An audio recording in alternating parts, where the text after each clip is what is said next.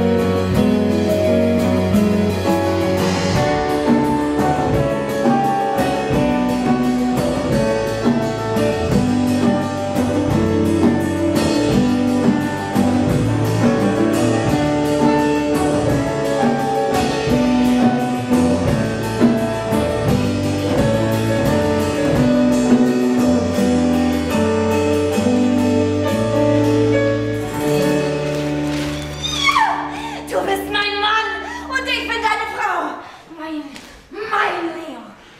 Leo. Le, Leo. Mein Leo. Leo. Leo. Ich verstehe überhaupt nicht, wie du so albern sein kannst. Jetzt, nachdem Plechane uns dermaßen hat abblitzen lassen. So eitel wie der ist, muss dein Angebot für ihn eine Frechheit gewesen sein. Weißt du noch, wie er sagte, ich könnte ihr Vater sein? Genosse hätte mir gereicht. Jetzt sei doch nicht so eingeschnappt, mein Liebster. Du hast einen. Du hast einen Korb bekommen. Was soll's? Gründest du deinen eigenen Verlag und deine eigene Zeitung. Plechane wird mich verleugnen und bekämpfen, wo er nur kann. Und dich auch. Na und? Soll er doch. Du hast viel bessere Verbindungen zu Russland. Und außerdem hast du mich. Von mir wirst du nie einen Korb bekommen. Ich liebe Zusammenarbeit. Ich tue alles, was du willst.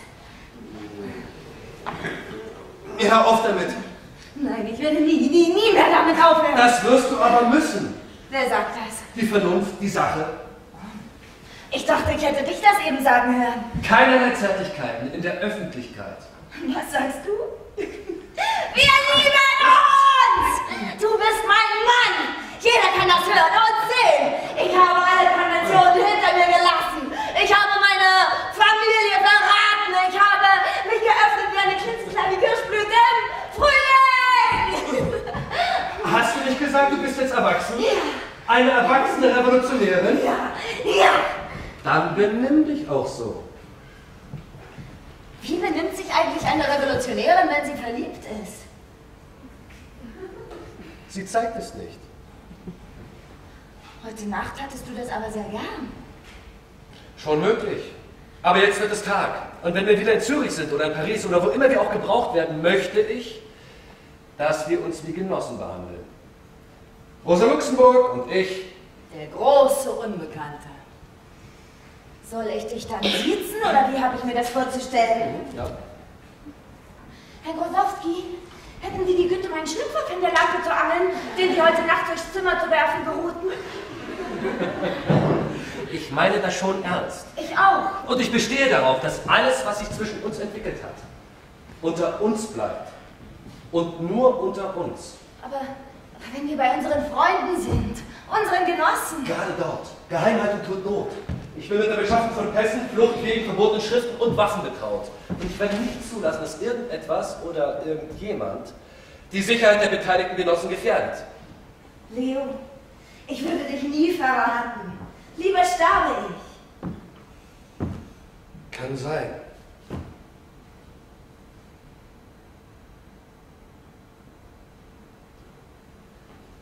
Kann sein noch nicht. Rosa, wir sind nichts. Wir existieren einzig und allein in und durch die Erfüllung unserer Aufgaben. Ich möchte meine Aufgaben gemeinsam mit dir erfüllen. In einer Wohnung für uns beide. Mit geblümten Vorhängen, mit Geranien auf dem Balkon, mit einem brodelnden Samovar und mit Federbetten. So dick und schwer, wie die zu Hause. Bürgerliche Träume. Können wir jetzt mit der Arbeit beginnen? Ja. Arbeiten kann ich immer. Gut. Unter einer Bedingung. Die da wäre. Du musst mich küssen. Alle fünf Minuten. Sonst hast du ganz schnell statt einer schönen, stolzen Geliebten eine kleine hässliche Kröte am Hals, die dir das Leben zur Hölle macht. Man muss schon Arbeit und Privatleben voneinander trennen. Muss man nicht. Rosa, ich kann dir das gerne noch mal Nicht erklären. küssen ist konterrevolutionär. Merkt ihr das?